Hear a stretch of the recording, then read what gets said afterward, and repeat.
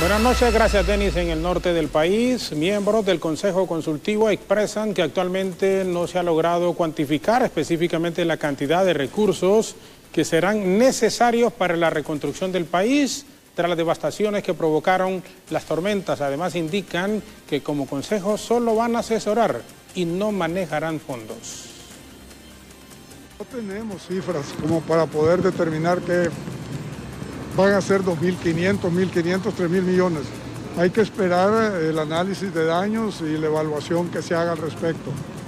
Posteriormente, posteriormente, si el plan cuenta con el apoyo de todos los sectores y de la comunidad, va a ser elevado a consideración de un grupo consultivo, de donde se van a eh, considerar para el plan para poder eh,